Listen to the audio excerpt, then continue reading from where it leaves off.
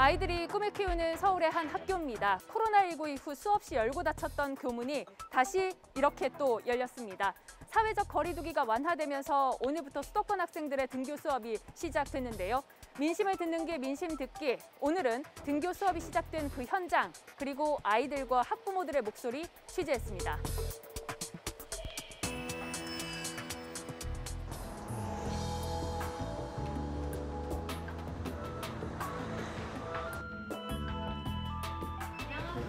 안녕하세요. 오늘 다시 학교에 가는 5학년 정우입니다. 사회적 거리두기에 따라 초등학교는 하루에 전체 학생의 3분의 1씩 돌아가며 등교하는데 정원의 학교는 오늘 4학년과 5학년이 대상입니다. 약 한 달 만에 다시 책가방을 싸는 정호. 어 잠깐만. 아 이 책 아니야. 저거야. 수학. 어. 나는 해법. 어 이렇게 넣고 난 배운 공식. 일터에 나간 부모님 대신 형이 정호의 등교를 돕습니다. 불안한 마음에 마스크를 잘 썼는지 확인하고 거듭 당부도 합니다. 마스크 잘 쓰고 오늘 애들이랑 사고 치지 말고 가가지고 손소독 먼저 하고 선생님 말씀 잘 듣고 해야 돼 수업. 다시 시작된 정호의 등교길.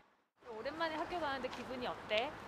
기분 좋아요. 애들 오랜만에 애들도 만나고 그럼 신날 것 같아요. 되게.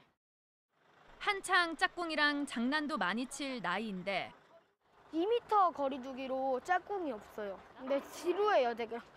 짝꿍한테 질문도 해보고 하는 건데. 학교 안 가는 날에는 온라인 게임으로 친구들을 만난다는 정호. 한 달 만에 등교했지만 정호는 다시 또 추석이 지나야 학교에서 친구들을 만날 수 있습니다.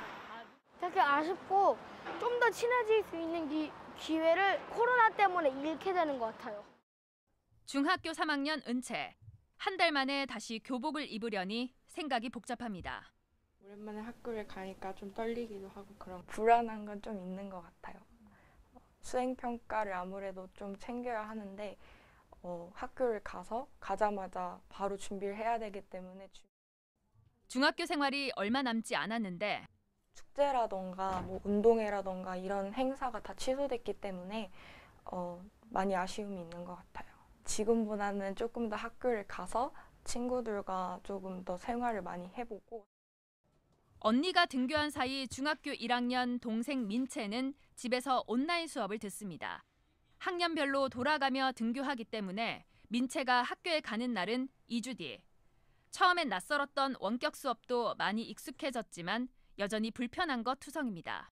선생님이 설명을 해주시면 질문을 막 따로 바로 바로 못하고 과제를 내주셔도 이해가 안 가면은 계속 친구들한테 물어볼 수밖에 없고 친구들도 친하지가 않으니까 중학교에 입학하고 계절도 바뀌었지만 아직 이름을 못 외운 친구가 더 많습니다. 외운 친구 이름 있어요? 중학교 와서? 강시연, 김유나, 뭐 강한결, 성준혁 이 정도. 다시 시작된 아이들의 등교. 아이 셋을 키우는 엄마는 잠시 숨을 돌리다가도 엄마 배고파. 그러니까 아침 뭐 점심 간식 계속 먹고 치우고 이제 그걸 반복하죠. 이제 아무래도 그게 저의 생활이죠. 아이를 학교에 보낸 뒤에는 불안하고 또 안타까운 마음. 안타깝죠. 예, 그렇게 일상이 되어야 되는 그런 생활이 이렇게 돼서 코로나19가 멈추지 않는 한 계속될 원격 수업과 등교 수업의 병행. 옆에서 지켜보는 엄마의 바람은 선생님이 이렇게 어, 너희들을 응원하고 있다. 그런 메시지를 전화나 뭐 영상 통화나 학교에 안 가는 날에 좀 선생님이 그런 관심과 사랑을 좀 주면 애들이 힘을 내서 선생님들하고 소통할 수 있는 그런 수업을 했으면 좋겠어요. 라이브로 직접적으로. 지난 1학기 쌍방향 수업 비율은 15%. 학생 대부분은 선생님과 대화할 기회가 없었다는 겁니다. 이 때문에 청와대 게시판엔 아이가 유튜브 자율학습을 하고 있다면서 불만을 제기하는 학부모들의 국민청원이 잇따르는 상황. 교육부는 일주일에 한 번 이상 실시간 쌍방향 수업을 하며 소통을 늘려간다는 계획이지만 당장 효과를 기대하긴 어렵습니다. 지금 상황도 교실에 그런 부분이 제대로 구축이 안 돼 있는 상황이기 때문에 예, 한계가 크다고 봅니다. 안정화가 될 때까지 상당한 시간이 등교는 시작됐지만 이렇게 운동장은 텅 비어 있습니다. 가을이 되면 운동의 준비로 더 시끌벅적했던 곳, 신나게 뛰어놀면서 더 큰 꿈을 키워왔던 이곳.